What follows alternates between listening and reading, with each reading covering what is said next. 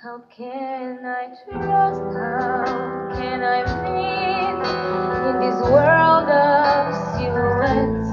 For nothing's changed, I'm always free, full of questions and regrets.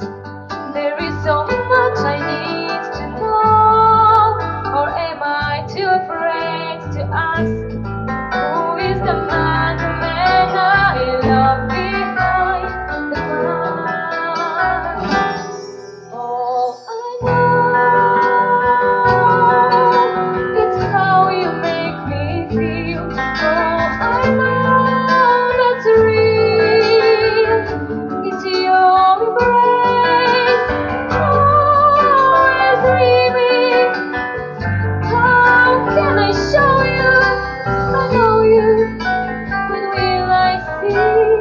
Thank you.